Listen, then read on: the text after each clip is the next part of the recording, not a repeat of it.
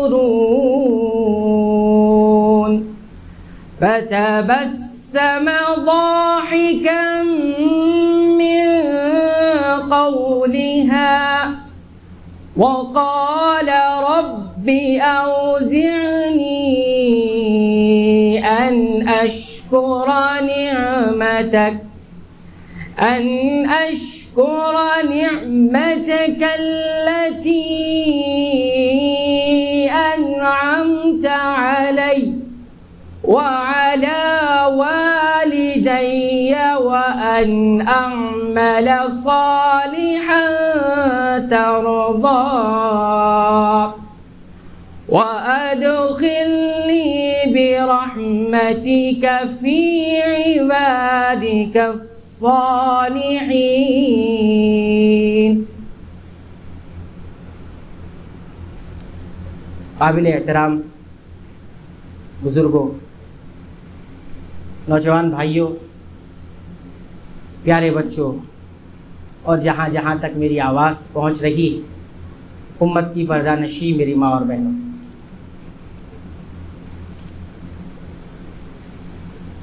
आप हजरात की खिदमत में कुरान करीम की सूरत सूरतुलनमल जो सत्ताईस नंबर की सूरत है, इस सूरत की तीन आयत आपके सामने तिलावत की गई। सत्रह अट्ठारह और उन्नीस।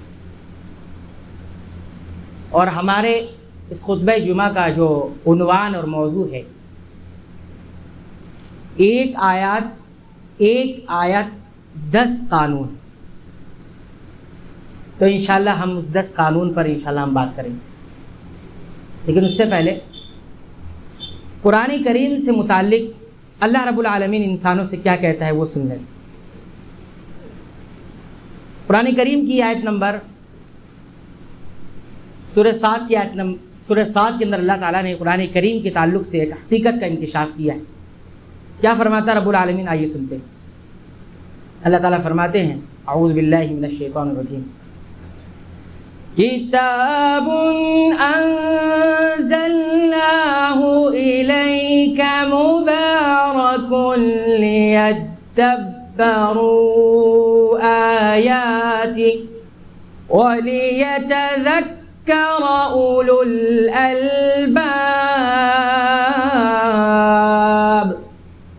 ये किताब है अनजल ना हो जिसे हमने उतारा है नाजिल किया मालूम यह हुआ कि कुरान करीम इस ज़मीन इस अर्थ इस अर्ज़ का नहीं है ये कहाँ का है आसमान का है किताब उन अनजल ना हो हमने नाजिल किया मुबारक साथ ही साथ ये किताब कैसी है? मुबारकुन। बाबरकत। बरकत वाली है। मालूम ये हुआ कि कुरान करीम अल्लाह का कलाम है और अल्लाह की ज़ात बाबरकत तो अल्लाह का कलाम भी बाबरकत। दुनिया की किसी शय में बरकत उसी वक्त आएगी जब उसका ताल्लुक कुरान करीम से जोड़ेगा। किताब नंजलना का मुबारकुन। ये बाबरकत है। बरकतें, रहमतें यहीं से आती है। क्यों नाजिल किया है? आयत का अगला गुड़ा बता रहा है लियदब्बरू आयाती, ताकि इंसान इसकी आयात पर गौर करें। इसकी आयात पर गौर करें, तदब्बर करें। लियदब्बरू आयाती। तदब्बर किसे कहते हैं? तदब्बर किसे हैं हम और आप ये समझते हैं। कुरान करीम की तिलावत कर लेंगे, तदब्बर हो जाएगा? नहीं। कुरान करीम खोल लेंगे, तदब्बर हो जाएगा? नहीं होगा। तदब्बर पढ़ने के बाद, समझने के बाद, तीसरे नंबर पर उसका मरहला आता है, उसका स्टेप आता है। वो इस तरह से, कि कुरान करीम आप पढ़ते जाए, उसका तर्जुमा आपने पढ़ लिया, उसका मफहूम समझ लिया, अभी तदब्बर नहीं हुआ। लियदब्बरू आयाती इसकी आयात पर गौर करें, तदब्बर करें। यानी कुरान करीम की आयात आपके सामने से गुजरे। तो कुरान करीम की आयात को आप आईना बना लें, मिरर बना लें, जहाँ आप अपनी कमियाँ भी देखें, जहाँ आप अपनी कोताहियाँ भी देखें, जहाँ आप अपनी खूबसूरती भी देखें, जहाँ आप अपनी खूबियाँ भी देखें। लियत दब्बरू आयाती, खड़े हो जाएँ, रुक जाए वहीं पर। इस आयत के अंदर मैं कहाँ हूँ? मेरा ज़िक्र कहाँ है? मेरा ज़िक्र क्या है? मैंने समझ तो लिया आयत को। तर्जुमा तो पढ़ लिया, मैं कहाँ हूँ इस आयत में? कुरान करीम में माइनॉरिटी का भी तस्करा किया, अकलीत का भी तस्करा किया गया। कुरान करीम में अक्सरियत का भी ज़िक्र किया मेजोरिटी का भी तस्करा किया गया। मैं कहाँ हूँ? माइनॉरिटी में हूँ कि मेजोरिटी में? अक्सर इंसानों की अक्सरियत जानती नहीं। क्या मैं ना जानने वालों में से हूँ? खलील अम्मा तशकुर बहुत थोड़े लोग हैं जो शुक्रगुजार शुक्रगुजार हैं, शुक्रगुजारी करते। क्या मैं माइनॉरिटी में से हूँ? दब्बरू आयाती। और क्या मकसद है कुरान करीम का?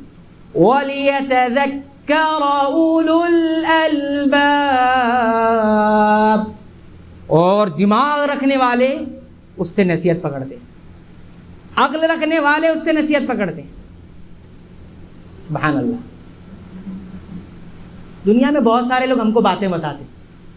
हमारे बड़े, हमारे इर्द गिर्द रहने वाले, किताबें, बहुत सारी चीज़ों से हम सुनते हैं, सीखते हैं।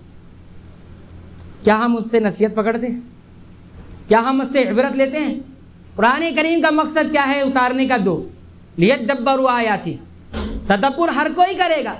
गौर हर कोई करेगा। वलियतज़क्कर उलुल अलबाब। नसीहत कौन पकड़ेंगे? उलुल अलबाब। उलुल अलबाब किसे कहते हैं? दिमाग वाले। तो कुरान करीम ब्रेन तैयार करता है, दिमाग तैयार करता है। वलियतज़क्कर उलुल अलबाब। एक और आयत देख लेते सूर्य कसस की आयत। अल्लाह ताला उसमें क्या फरमाते अल्लाह ताला फरमाते हैं आऊज़ बिल्लाहि मिनश शैतानिर रजीम।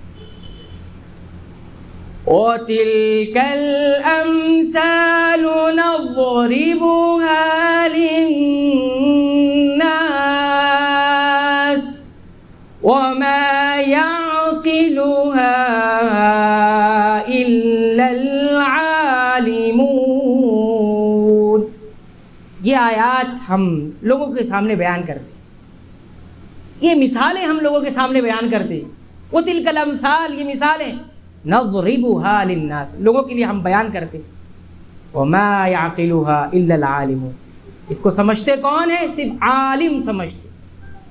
सिर्फ़ आलिम समझते। इस आयत करीमा के शान नज़ुल में दो सहाबी का नाम आता है।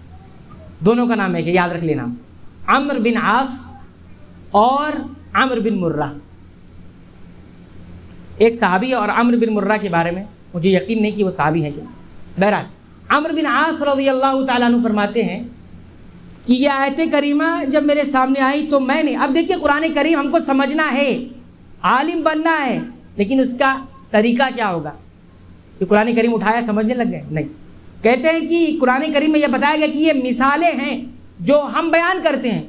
तो कहते हैं, मैं नबी करीम वसल्लम की खिदमत में गया और रिवायत के अंदर यह आता है कि मैंने आप सल्लल्लाहु अलैहि वसल्लम से एक नहीं दो नहीं, तीन नहीं, पूरी एक हज़ार मिसालें समझी जाती। अल्फ, एक हज़ार। मालूम है कि साहब कराम कुरान करीम को किस तरह समझते थे? किस तरह से समझते थे? कुरान उठाया, समझने लग गए? नहीं। एक हज़ार मिसालें मैंने किससे समझी? रसूलुल्लाह सल्लल्लाहु अलैहि वसल्लम। और उसके बाद दूसरा मैंने नाम लिया है, अमर बिन मुर्रा। वो कहते हैं, जब भी मैं इस आयत के पास गुजरता हूँ, पढ़ते पढ़ते ये आयत मेरे सामने आती है। कुरान करीम की बहुत बेशुमार आयत मेरे सामने आती है। लेकिन जब इस आयत करीमा के पास से जब मैं गुजरता हूँ तो मुझे और मैं उसको समझ नहीं पाता कि ये आयत करीमा, कोई भी आयत गुजरता हूँ मैं समझ नहीं पाता हूँ। तो यही आयत करीमा मुझे गमजदा कर देती है। अल्लाह ताला ने फरमाया, वमा याकिलुहा आलिमून। समझते सिर्फ़ आलिम हैं, समझते सिर्फ़ जानकार हैं, समझते सिर्फ़ इल्म रखने वाले हैं। तो मुझे ये लगता है कि कहीं मैं बेअकलों में से तो नहीं, कहीं मैं आलिम में से तो नहीं, कहीं मेरा शुमार जाहिलों में से तो नहीं। ये गमजदा कर देती थी आयात साहब कराम, हमारे असलाफ कुरान करीम की कितनी आयात, हमें याद है, हम अच्छी तरह पढ़ते हैं, क्या उसको समझते भी हैं? ये चीज़ हमें गमजदा क्यों नहीं करती? वमा याकिलुहा आलिम। तो ये दो आयत आपके सामने रखी मैंने कि कुरान करीम तदब्बर के लिए है। ये कुरान करीम ज़िंदा कौम के लिए है। ज़िंदगी बख्शने वाला है। जो कौम इस कुरान करीम को थाम लेती है, वो कौम ज़िंदा हो जाती है। उस कौम के अंदर बेदारी आ जाती उस कौम के अंदर ज़िंदगी पैदा हो जाती और कुरान करीम से जो नहीं जुड़ती, वो कौम मुर्दा हो जाती आइए हमारा मौजू था कि एक आयत दस कानून। और ज़रा तवज्जो से सुनिएगा। अपनी तवज्जो इधर उधर ना करिएगा, गौर से सुनिएगा। आपके सामने सूरतुलनमल की आयत नंबर सत्रह अट्ठारह और उन्नीस तिलावत की गई है। मेन आयत हमारी अट्ठारह नंबर की आयत है। उसी से हम इंशाल्लाह आपको दस ऐसे कानून बताएँगे, जो कानून मुसीबत के मौके पर मुश्किल के मौके पर, या जिसे हम कहते हैं क्राइसिस के मौके पर हमें वो कानून माविन साबित होंगे। आइए पूरे को उसका तर्जुमा देख लेते अल्लाह ताला ने फरमाया वह होशिर अली सुलेमान सुलेमान सलाम के लिए इकट्ठा कर दिए गए, जमा कर दिए गए। कौन जमा किए गए? जुनूद उनका लश्कर। सुलेमान सलाम को हर कोई जानता है, एक बादशाह, एक नबी गुजरे। उनके लश्कर को जमा कर दिया गया। लश्कर में कौन कौन लगते मिनल जिन्नी वल इंसी व तैर। उनके लश्कर में तीन लोग।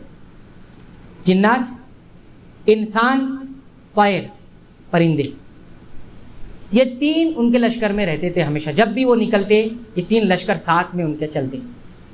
फहुम यूजाउन और ये लश्कर रोके जाते थे, तकसीम कर दिए गए थे। यूजाउन का मतलब आपने देखा होगा कभी कभी पुराने करीम के अंदर या किताबों के अंदर लिखा है युवजाऊ मज्जाना। फ्री है ये। क्या है ये? तकसीम फ्री की जाएगी। युवजाऊ मज्जान। उसी से यूजाउन बना हुआ है। यूजाउन, यानी ये गिरोह को तकसीम किया गया था। इंसान, जिन्नात और परिंदे ऐसे नहीं थे कि कोई कहीं भी रह रहा था। लश्कर चलता तो तरतीब से चलता उसमें तरतीब रखी गई थी, कौन गिरोह कहाँ रहेगा? अहले तफसीर ने तरतीब भी बताई है, दाएँ तरफ़ जिन्नात होते थे, बाएँ तरफ़ इंसान होते थे और सरों के ऊपर उनके परिंदे होते थे। और जब चलते, धूप आती तो पूरे परिंदे अपने परों से साया कर देते। ये बहरहाल तफसीर की बात है। ये आयत यहाँ पर ख़त्म हो गई, सत्रह नंबर की आयत। अब आइए अठारह नंबर की आयत। नमल। यहाँ तक ये लश्कर चलते चलते अलावादिन नमल। चूटियों के मैदान में जाकर पहुँचा। एक ऐसी वादी में पहुँचा जहाँ चूटियाँ थी। कोई मुझे बता सकता है? जिनको हम चूटी कहते हैं या अरब वाले जिसे नमला कहते हैं। कितना साइज़ होता है उसका? कितनी बड़ी होती है? इतनी छोटी मखलूक है। इसका साइज़ नहीं पता इंसान। कुरान करीम ने उस चूटी को अपने कलाम का हिस्सा बनाया। यह है गौर करने की बात। वो क्या चीज़ थी? वो क्या किरदार था? वो क्या कैरेक्टर था? इस नन्ही सी मखलूक का, जिसे कुरान करीम ने अपने कलाम का, बोलो, हिस्सा बना दिया। हाँ आपको मालूम है, कुरान करीम के अंदर एक और जानवर का, एक और परिंदे का ज़िक्र है। और आपका कौवे का। क्यों ज़िक्र है भाई? ये कौवा वही परिंदा है कि जिसके किरदार को कुरान करीम ने इतना सराहा है कि अपनी अपनी कलाम का हिस्सा बनाया। तो दुनिया वालों को दफनाने का तरीका किसने बताया? इंसानियत को, अपने मुर्दों को दफनाने का, छुपाने का तरीका किसने बताया? अल्लाह की जानब से इस परिंदे ने ज़मीन खोद कर बताया, इंसान, तू सीख ज़रा अपने मुर्दों को, अपनी लाशों को कैसे छुपाना है? और जब एक परिंदा अपने किरदार की वजह से इंसानों को दफनाने की वजह से कुरान का हिस्सा बन सकता है, तारीख का हिस्सा बन सकता है। तो भला ये बताओ, एक मुसलमान, एक मोमिन अगर उम्मत के लिए कदम उठाए तो क्या रब उसे ज़मीन नहीं सौंप सकता? क्या रब उसे खिलाफत नहीं दे सकता? क्या रब उसे ज़मीन का हाकिम नहीं बना सकता? ज़रूर बना सकता।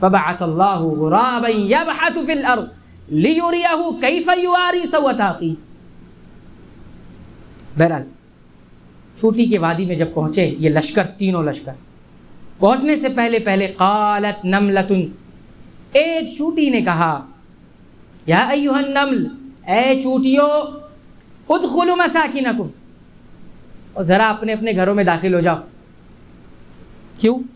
ला यहतिमन्नकुम सुलेमान जुनूदु कहीं ऐसा ना हो, सुलेमान का लश्कर आ रहा है। सुलेमान भी आ रहे हैं, उनका लश्कर भी आ रहा है। कहीं तुम्हें वो बर्बाद ना कर दे, कहीं तुम्हें वो तहस नहस ना कर दे। हमलाए शुरू उन्हें पता भी ना चले। आयत ख़त्म हो गई। आयत यहाँ पर ख़त्म हो गई। अब आप कानून देखते हैं।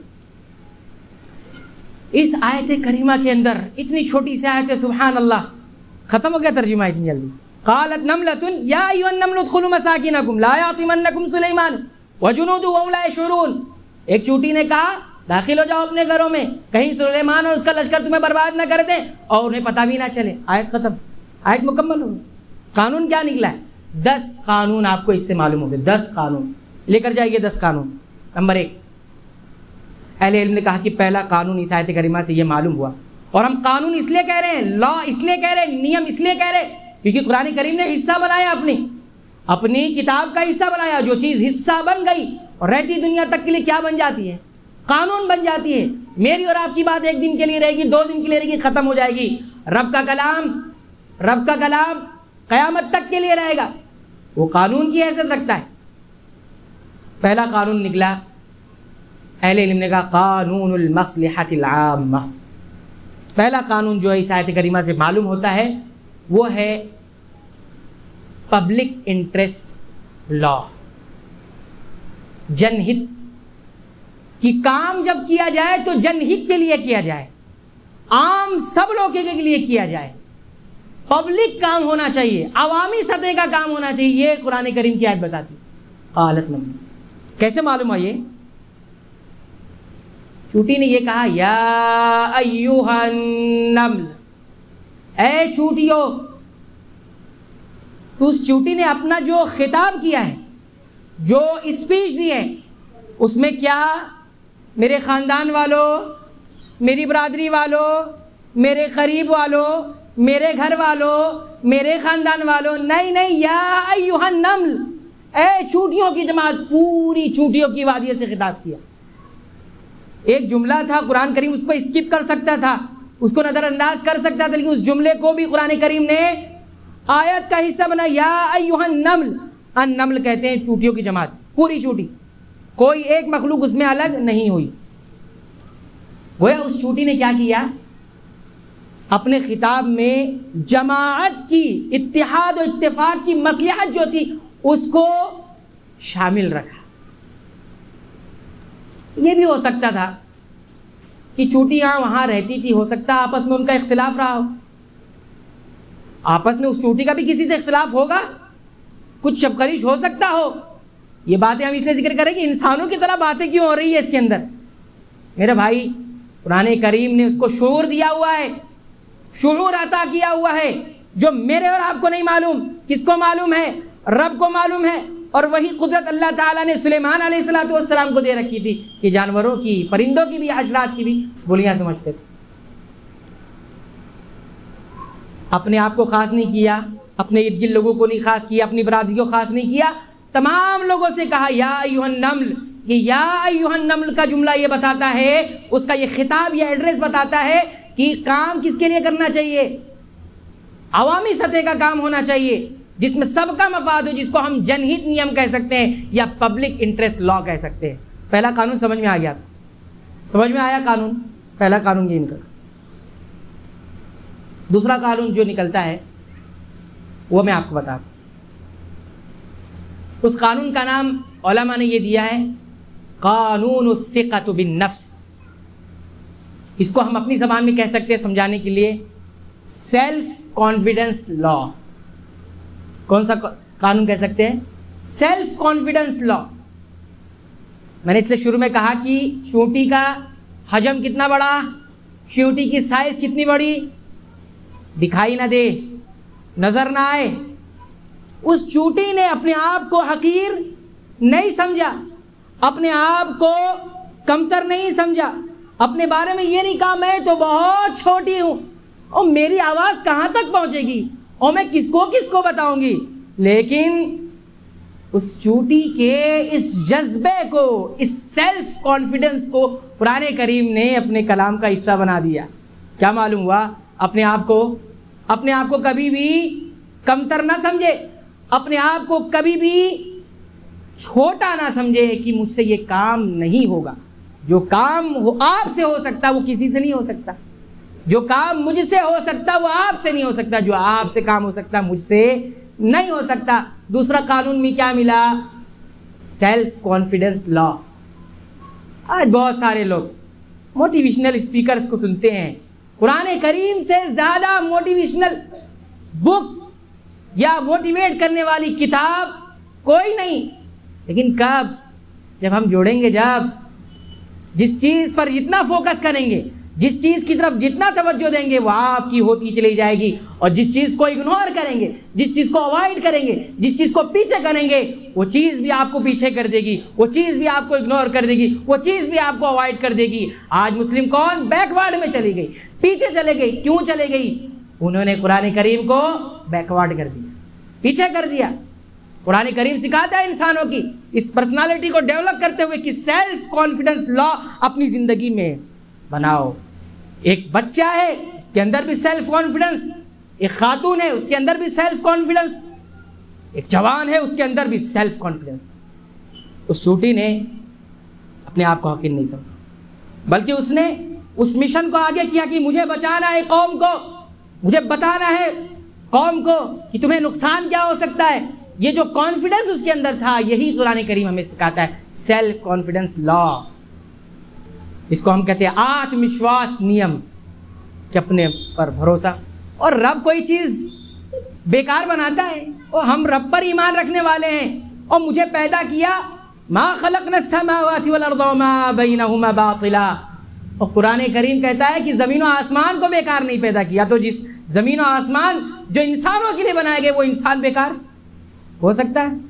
कभी भी किसी मुस्लिम नौजवान, किसी मुस्लिम खातून और किसी मुस्लिम बच्चे के जहन में ये बात आनी ही नहीं चाहिए कि मुझसे कुछ नहीं होगा और तुमसे जो होगा वो किसी से नहीं होगा एक मोमिन से जो होगा वो किसी से नहीं होगा आइए कुरान करीम की एक पर गौर कर लेते सूर्य कसस की आयत है अल्लाह ताला फरमाते हैं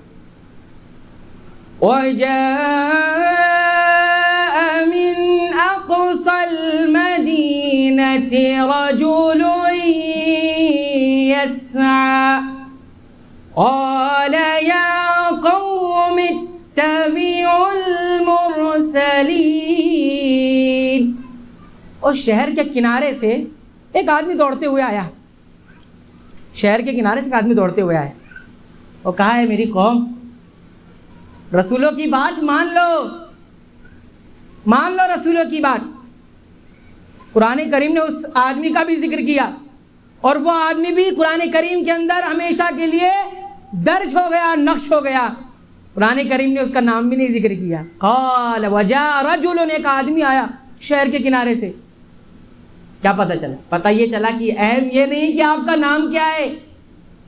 अहम ये नहीं है कि आपका नाम क्या है। अहम ये है कि आपका काम क्या है।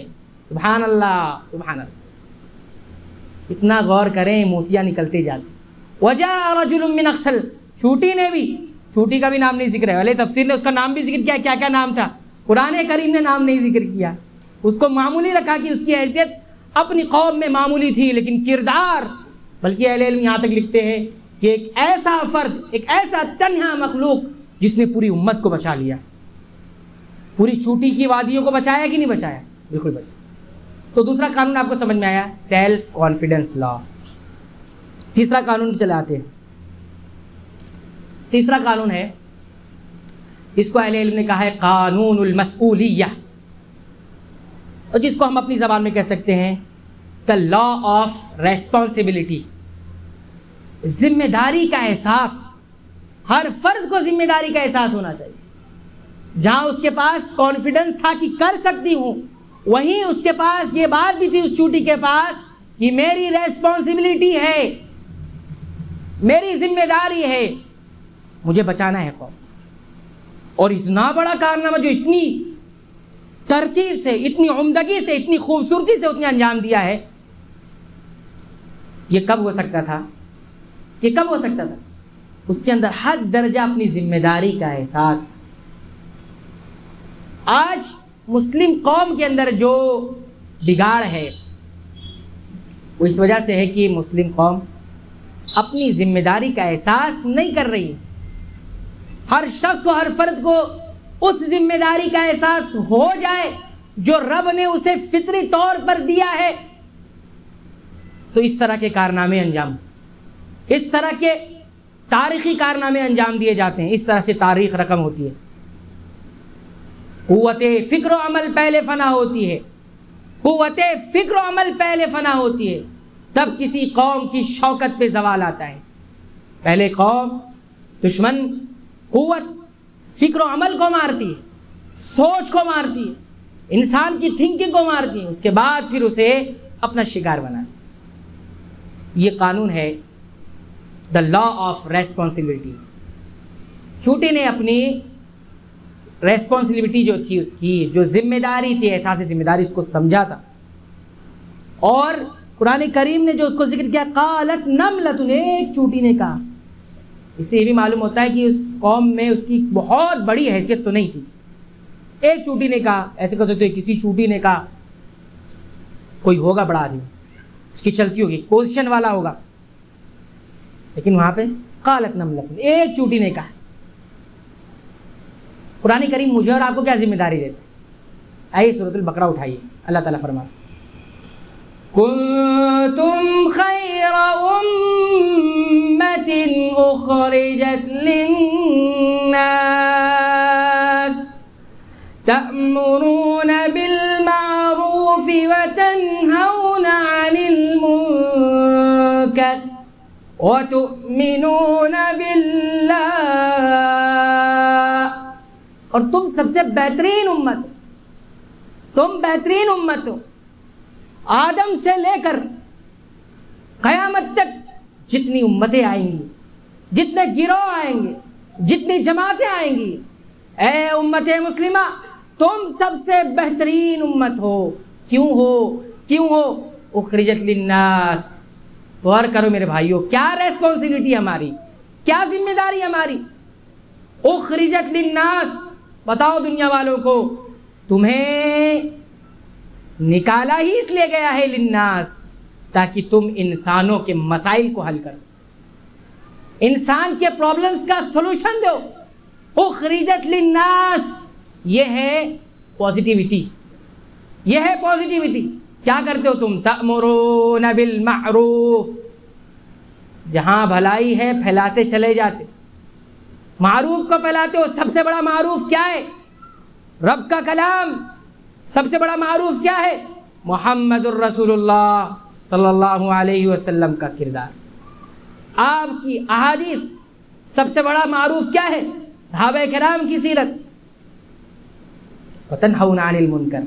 तो तुम जहाँ रहते हो, बुराई से रोकते रहते वो तुमिनून बिल्लाह। और इन तमाम कामों की बुनियाद तुम्हारी क्या होती है? तुमिनून बिल्लाह। ये काम सिर्फ़ अंजाम दिए जाते हैं और रब की रज़ा के लिए अंजाम दिए जाते हैं।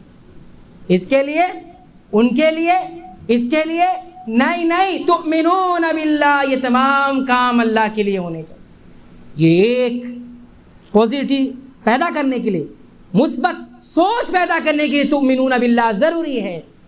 इतनी बड़ी रेस्पॉन्सिबिलिटी इतनी बड़ी ज़िम्मेदारी, उम्मत को एहसास नहीं, एक मामूली सी नन्नी सी मखलूक कुरान करीम के ज़रिए सिखाती है कि द लॉ ऑफ़ रेस्पॉन्सिबिलिटी अपनी ज़िम्मेदारी का एहसास करो। ये जो इतना बड़ा मिशन मैंने शुरू की थी, इस वजह से मेरे अंदर कहीं ना कहीं बहुत खूबसूरत अंदाज में उस ज़िम्मेदारी को समझने का एहसास था। पुराने करीम ने उसका ज़िक्र किया। और होता है बसा औकात, किसी फर्द की एक गलती पूरी सोसाइटी, पूरी समाज की तबाही का सबब बन जाती है। बनती है कि नहीं बनती है? आप देखिए, इस्लाम का कानून कितना खूबसूरत है।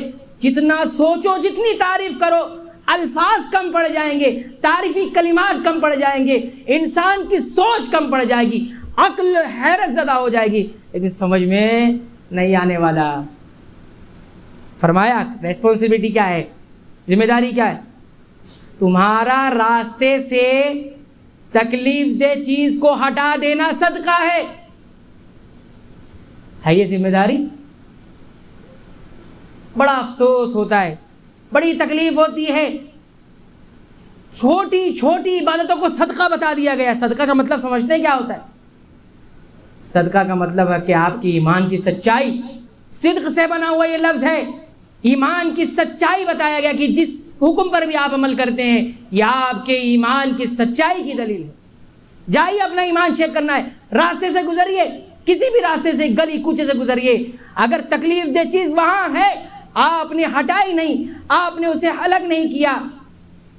तो ये भी हो सकता है कि आपके अंदर ईमान की सच्चाई नहीं।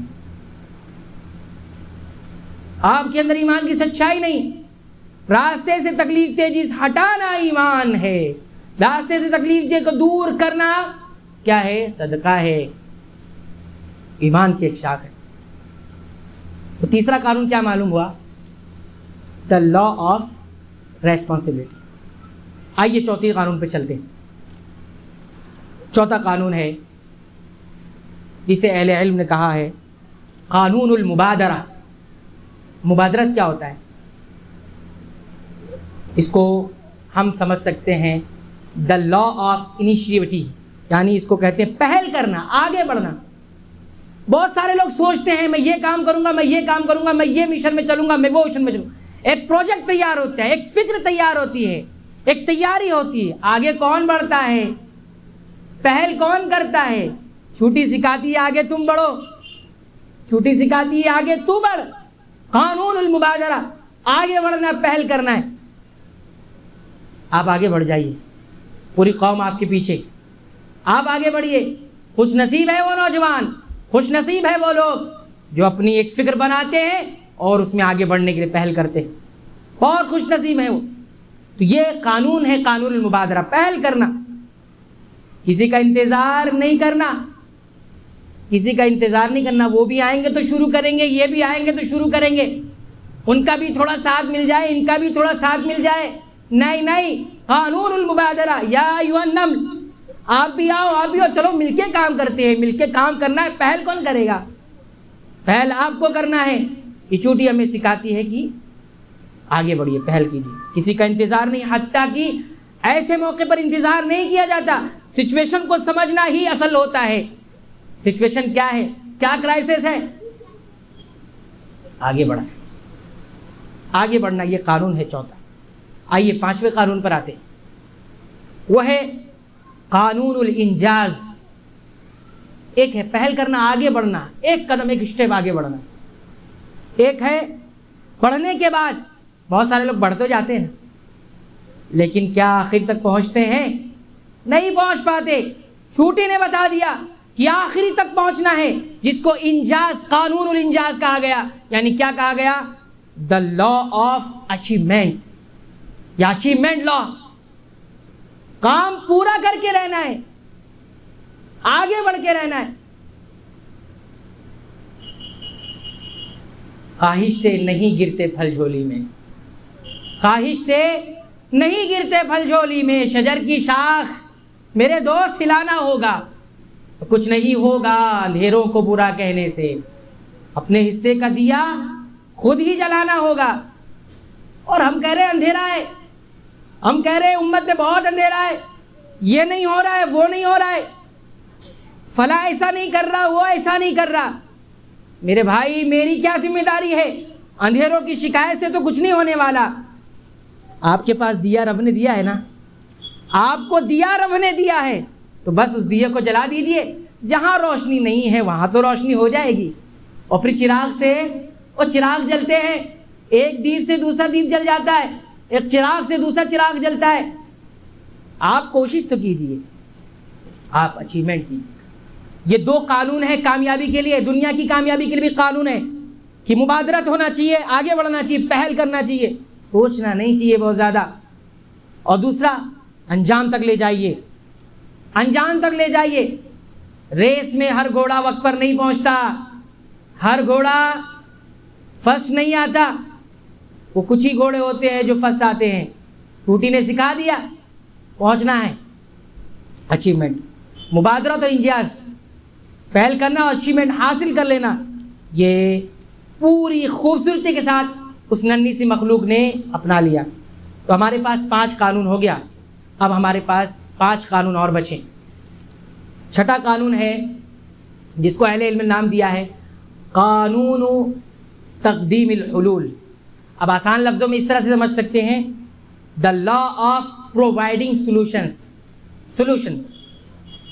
आप मसाइल तो ज़िक्र कर रहे हैं, ये प्रॉब्लम ये प्रॉब्लम सोल्यूशन क्या है?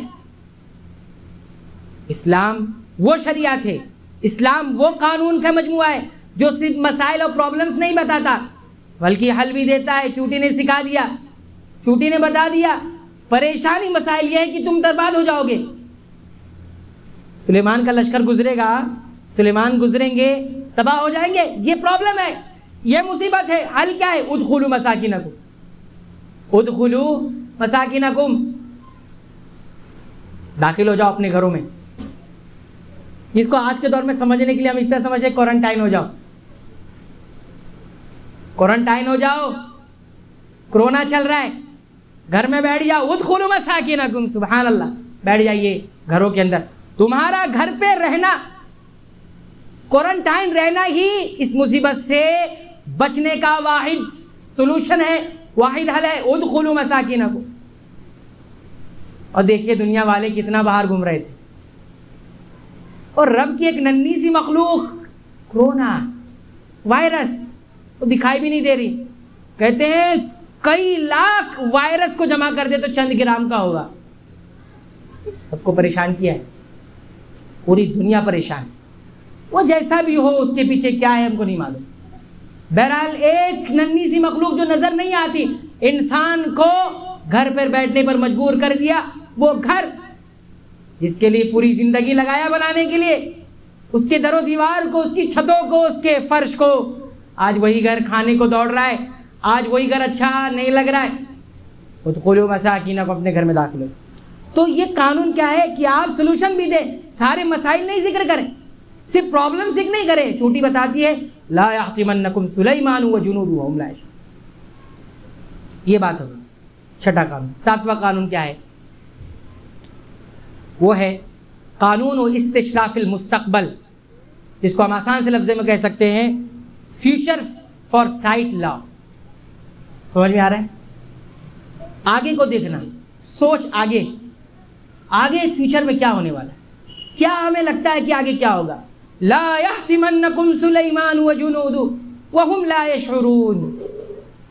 आगे ये होगा कि तबाही है तुम्हारे लिए आगे ये है कि आगे तुम्हारी तबाही है तुम्हारे लिए एक छूट ये बता रही है कि उम्मत के हर फर्द को फ्यूचर फॉर साइट लॉ का कानून अपनाना है फ्यूचर को भी देखना है क्या आगे होना है उसके लिए तैयारी करना है उसके लिए स्टेप लेने मुस्तकबिल क्या होना है हमारी औलादों का मुस्तकबिल क्या है हमारी तालीमी ढांचे का मुस्तबिल क्या है?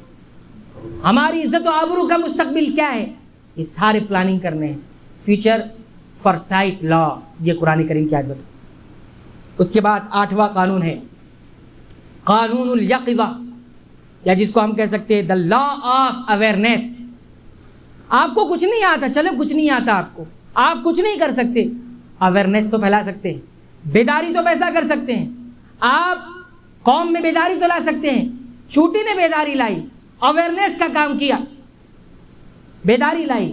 कहते हैं, छूटी ने कहा, दूसरी छुट्टी ने सुना, तीसरी छुट्टी ने सुना अवेयरनेस फैलते गई और पूरी कौम बच गई। क्या था ये? द लॉ ऑफ़ अवेयरनेस बेदारी वाला कानून। उसके बाद नवा कानून जो है, बहुत अहम है, ज़रा गौर से सुनिएगा। उसको कानून एहतज़ार कहा गया। कानून एहतज़ार क्या होता है? द लॉ ऑफ़ एक्सक्यूज़ किसी के बारे में आप कुछ बयान कर रहे हैं, कुछ बोल रहे हैं तो क्यों ऐसा बोल रहे हैं, वो बताना आपको। सुलेमान सलाम के बारे में क्या कहा? लाकुम सुलेमान सुलेमान और उसका लश्कर तुम्हें बर्बाद कर दे। इतनी बड़ी बात। सुलेमान नबी, उनका लश्कर तुम्हें तबाह कर देगा, तुम्हें बर्बाद कर देगा। ज़िक्र किया ना, ये एक नेगेटिव चीज़ थी। लेकिन उसका उज्र क्या बताया? उसके पीछे वजह क्या बताई? एक्सक्यूज क्या बताया? वहुम ला यशूरून। गौर क्यों नहीं करते? वहुम ला यशूरून। ऐसा नहीं है कि सुलेमान जालिम है। ऐसा नहीं है कि सुलेमान का लश्कर जालिम है। वो जानबूझकर करेंगे। वो इस वजह से है कि वहुम लाए यशूरून हो सकता है उनको शूर ना हो हो सकता है उनके पता ना चले। हम छोटी सी मखलूक है, पता ना चले उनको। ये चूटी का एक वो था। लेकिन पेश किया चूटी ने और कुरान ने उसका हिस्सा बनाया वहुम लाए शुरू मालूम क्या हुआ कि आपको द लॉ ऑफ़ एक्सक्यूज भी अपनाना है। हम तो किसी के बारे में कुछ भी कह देते, उन्होंने ऐसा किया, अरे क्यों किया? अरे क्यों किया वो ऐसा? एक्सक्यूज हम किसी के बारे में देते नहीं हैं। हमारी जबान तो बड़ी चलती है, इल्ज़ाम तो किसी पर लगा, जानते हैं आप किसी के इल्ज़ाम लगाने से क्या क्या होता है? किसी पर आपने इल्ज़ाम लगा दिया और उसके एक्सक्यूज़ नहीं दिया। इल्तमाजुल जिसे कहा जाता है कि उसके लिए एक अच्छी पॉजिटिविटी सोच रखना। जब तक सबूत नहीं, आपकी सोच थिंकिंग पॉजिटिविटी होनी चाहिए। मुस्बत सोच, वहुम लाए शुरुन छूटी ने सिखा दिया कि आपको क्या करना है? छोटे से छोटा फर्द हो। बच्चे के ताल्लुक से भी आप कोई बात करेंगे तो पहले सोचेंगे कि ये बच्चे ने क्यों किया? आज तरबियत बच्चों की नहीं कर पा रहे हैं लोग। ये पहलू निकलता है तरबियत का। बच्चे ऐसा क्यों कर रहे हैं? बच्चों के बारे में ऐसा तो बड़े और बूढ़ों के बारे में कैसे औरतों के बारे में कैसे नन्ही सी मखलूक हमें सिखाती है। द लॉ ऑफ़ एक्सक्यूज को अपनाए। अच्छी बहाने उसके पीछे रखें। फिर जब सबूत किसी चीज़ का मिल जाए प्रूफ मिल जाए तो फिर मसला ही नहीं। आखिरी कानून कहकर अपनी बात भी ख़त्म करेंगे। सुबहान अल्लाह बहुत अहम कानून। आज लोग कोरोना की वजह से मुस्कुराना भूल गए। भूल गए ना मुस्कुराना? दहशत का माहौल, खौफ का माहौल। मरीज़ सिर्फ़ खौफ से मर रहा है, पेशेंट खौफ से मर रहा है। क्यों मालूम है? कुरान करीम क्या है फतबस्सम वाहिकम मिन कौलिहा उस चोटी की बात सुनकर सुलेमान मुस्कुरा दिए फतबस्सम वाहिकम मिन कौलिहा उस चोटी की बात सुनकर सुलेमान क्या कर दिए हँसते हुए मुस्कुरा दिए the law of smile the law of smile मुस्कुराने का कानून कुरान करीम देता है हमें मुस्कुराइए मुस्कुराइए अब क्यों गौर करने की चीज़ है? यहाँ कौन मुस्कुरा रहा है? सुलेमान मुस्कुरा रहे हैं। कौन है सुलेमान? बादशाह वक्त। कौन है सुलेमान? हाकिम वक्त। कौन है सुलेमान? आकाए वक्त। कौन है सुलेमान? लश्कर वाले। कौन है सुलेमान? जिन्नातों पर हुकूमत वाल करने वाले। कौन है सुलेमान? परिंदों पर हुकूमत करने वाले। कौन है सुलेमान? हवाओं पर हुकूमत करने वाले। कौन है सुलेमान? ज़मीन पर चलने वाले कीड़ों के बादशाह कीड़ों पर हुकूमत करने वाले और किसके लिए मुस्कुरा रहे फतवसमिन उस नन्ही सी मखलूक को देखकर मुस्कुरा रहे जब बड़ा मुस्कुराता है छोटे के लिए, जब हाकिम मुस्कुराता है महकूम के लिए, जब आका मुस्कुराता है गुलाम के लिए, जब मालिक मुस्कुराता है नौकर के लिए, जब बॉस मुस्कुराता है वर्कर के लिए उस हँसी के अंदर बहुत राज छुपे। फतबस्सम वाहिकम कौलिहा। The law of smile. मुस्कुराने का कानून अपनाइए मेरे भाइयों। आप कितने मरीजों को ठीक कर देंगे? आप जाते ना, इयादत के लिए लोगों की, मरीज़, पेशेंट की इयादत के लिए। क्या हुआ? ऐसा हो गया। चेहरे पर दहशत के आसार। कुरान करीम कभी यह तालीम नहीं देता। मोहम्मद रसूलुल्लाह का कानून ये इजाज़त नहीं देता। मरीज़ के पास जाकर आप दहशत का माहौल बनाए। मरीज़ के पास पहुंचकर आप एक माहौल क्रिएट करें। नहीं। फतबस्सम वाहिकमिन आप मुस्कुरा दिए, कोई मसला नहीं। कोई मसला नहीं, सिर्फ़ मुस्कुरा दीजिए आप। और मेडिकल साइंस कहती है कि मुआलिश तबीब डॉक्टर्स अगर मरीज़ के पास जाकर सिर्फ़ मुस्कुरा दे मरीज़ को देखकर, उसकी परेशानी को सुनकर, मरीज़ का ऑक्सीजन लेवल ऊपर आ जाएगा। और ऑक्सीजन की कमी। ऑक्सीजन की कमी से लोग मर जा रहे हैं। इस वजह से मर रहे हैं कोरोना नहीं मार रहा किसी को। कोरोना तो है वायरस तो है, लोगों को दहशत और खौफ मार दे। दहशत और खौफ मार दे। हमने कितने पेशेंट्स देखे? अस्सी साल के ऊपर एज वाले पेशेंट को देखा। आखिरी स्टेज पर कोरोना है। डॉक्टरों ने जवाब दे दिया है। लेकिन दो दिन में ठीक होकर वापस आ रहे और ऐसे भी पेशेंट देखिए हट्टे कट्टे नौजवान 20 साल के 25 साल के 30 पैंतीस साल के, दो दिन में ख़त्म हो जाते। दो दिन में ख़त्म हो जाते। डॉक्टर उसके पास कैसे जा रहा है? पूरा का पूरा ढककर जा रहा है। ना उसके चेहरे पर मुस्कुराहट नज़र आ रही उतिकलिक मखलूक नज़र आ रही। फतबस्समिन कौलिया। कुर्बान जाइए रब की नायतों पर। कुर्बान जाएगी मेरी पूरी ज़िंदगी, मेरी पूरी साँसें, जो मुझे मिली है रब के इस फरमान पर कुर्बान। फतबस्समिन कौल। मुस्कुरा दिया। सुलेमान ने मुस्कुरा दिया। ये मुस्कुराहट, अब देखिए मुस्कुराहट की कई किस्में होती हैं। एक मुस्कुराहट इंसान तंजिया मुस्कुराता है। एक मुस्कुराहट इंसान मजाहिया मुस्कुराता है। मज़ाक उड़ाने के लिए। यहाँ मुस्कुराहट कौन सी थी? कुरान करीम ने आगे भी वाजे। वाहिकम मिन कौलिया। ये हंसने वाली मुस्कुराहट थी ये कोई तंजिया मुस्कुराहट नहीं, ये कोई मजाकिया या किसी पर तंज करने वाली या किसी का मज़ाक बनाने मुस्कुराहट। हम तो आप तंजिया मुस्कुराते लोगों पर, हम तो आप किसी पर जो है मजाकिया मुस्कुराते द लॉ ऑफ़ स्माइल इसको भी अपनाइए। तो ये दस कानून मैंने आपके सामने ज़िक्र एक आयत के अंदर ये पूरे कानून। एक बार आपको दोहरा कर अपनी बात ख़त्म कर दी पहला कानून क्या है? कानून मसलहतम द पब्लिक इंटरेस्ट लॉ जनहित के लिए काम आफाकी, हम हम दुनिया के अंदर आफाकी मखलूक हैं। आसमानी मखलूक हम कह सकते हैं, क्योंकि आसमान के कानून पर चलने वाले हैं, ज़मीन और अर्थ के कानून पर चलने वाले लोग नहीं हैं। तो जब हमारा सोच ही आसमानी है तो फिर हमारा हमारा काम तो आसमानी होगा।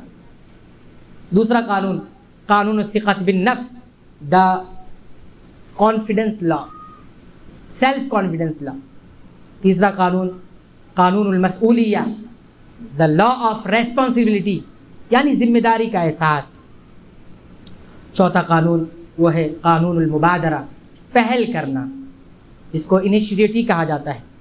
मेरी इंग्लिश थोड़ी कमज़ोर है, मैं सिर्फ़ समझाने के लिए बता रहा और पांचवा कानून बताया गया, वो है अचीवमेंट लॉ कर गुजरिए। आखिरी दम तक ले जाइए। कोई प्रोजेक्ट कोई मिशन कोई गोल कर गुजरिए, आखिर तक ले जाइए। ये छुट्टी हमें सिखाती है। छठा कानून। कानून तकदी, कानून तकदीम यानी the law of providing solution. Solution दीजिए। मसाइल ज़्यादा मत बताइए। सोल्यूशन दीजिए कि इस मसले का हल क्या है? इस मसले का सोल्यूशन क्या है? इस प्रॉब्लम का सोल्यूशन क्या? है उसके बाद जो है सातवां कानून। मुस्तबिल पर नज़र रखिए। अपने मुस्तबिल का, अपने घर की खातन की मुस्तबिल का, अपने बच्चों की नस्लों की मुस्तबिल का फ्यूचर फॉर साइड लॉ अपनाइए। ये कुरान करीम की, ये नन्नी से मखलूक सिखाती है। और आठवां कानून द लॉ ऑफ़ अवेयरनेस आपको कितने वसाइल हैं? कितने वसाइल आपके पास है? क्या कर रहे हैं इन वसाइल का आप? इन जराए का आप क्या कर रहे हैं? सोशल मीडिया आपके पास है सोशल नेटवर्क आपके पास। अवेयरनेस फैला रहे क्या फैला रहे आप? कितने नौजवान खाली दहशत खौफ का माहौल बना। अवेयरनेस फैलाइए, हर चीज़ में अवेयरनेस दीजिए। सही बात पहुंचाइए नवा कानून कानून एहतज़ार जिसको हम द लॉ ऑफ़ एक्सक्यूज़ कहते हैं। किसी पर भी ऐसी कोई बात नहीं कीजिए, कोई बात कीजिए तो बताइए क्या है। इल्तमासुल एक बहुत बड़ा अहम शख्सियत की पर्सनालिटी की डेवलपमेंट में एक बहुत बड़ा कानून है। एक लॉ है। कि आप किसी के बारे में अच्छा उज्र तलाश करें? कोई मस्जिद में नहीं आया तो हम बोले, बेनमाजियों का मस्जिद में नहीं आता नमाज़ नहीं पढ़ता वो। इस पर तो नहीं गौर कर सकते, क्यों नहीं आए? हो सकता है बीमार होगा। हो सकता है कहीं चला गया होगा। हो सकता है कुछ तकलीफ़ आ गई। साहब कराम का किरदार नहीं मालूम आपको। कोई मस्जिद में नहीं आता दो। या तो मुनाफिक हो गए, या तो बीमार होगा। चलिए, सब लोग चलते हैं उनकी आदत के लिए। भाई, आप नहीं आए थे नमाज़। यहाँ क्या है? एक माहौल बन रहा है। ये छोटी सी मिसाल थी बहुत सारी मिसाल ख़ानदान की ज़िंदगी में, ख़ानदानी ज़िंदगी में, घरों की ज़िंदगी में, ये कानून बहुत जो है पावरफुल कानून, बहुत जो है मुफीद कानून। और आखिरी कानून जो है कानून इब्तसामा, जिसको हम कह सकते हैं द लॉ ऑफ़ इस्माइल मुस्कुराहट ईमान है भाई मेरे, ईमान है, सदका है। मुस्कुराइए इसलिए नहीं कि सामने वाला खुश हो जाएगा। मुस्कुराए इसलिए कि रब ने कहा है मुस्कुराने आप देखिए उस मुस्कुराहट में और उस मुस्कुराहट में क्या फ़र्क किसी से सलाम भी कीजिए, इसलिए नहीं कि उससे मेरा मफाद वाबस्ता है। अस्सलाम वालेकुम। हाँ मफाद वाबस्ता है। कुछ चाय के सलाम है, कुछ माल के सलाम है, कुछ अहदे के सलाम है, कुछ पोजीशन के सलाम है। ये सलाम नहीं चाहिए। वह तुम मिनो बिल्ला सलाम और मुस्कुराहट ईमान की सच्चाई के लिए। मैं इससे इसलिए मिल रहा हूँ कि ये मेरा भाई है। ये मेरा कलीमा अदा करने वाला है, रब को मानने वाला है। इसे मुझे रब की दावत देनी है, रब की तरफ़ बुलाना है। इसलिए इस मुस्कुराइए। गैर मुस्लिमों के सामने भी मुस्कुराइए, देखिए फिर। मिलते वक्त मुस्कुराइए ये है अल्लाह ताला से दुआ है कि जो बातें यहाँ कही गई हो रब्बुल आलमीन, इसमें कोई कमी, कोई कोताही, कोई नफ्स, कोई गलती रह गई हो मेरे नफ्स और शैतान की तरफ़ से होगा। रब्बुल आलमीन तो उसे दरगुजर फरमा दे, उसे माफ़ फरमा दे। और जो बातें हक़ है रब्बुल आलमीन को कबूल फरमा ले।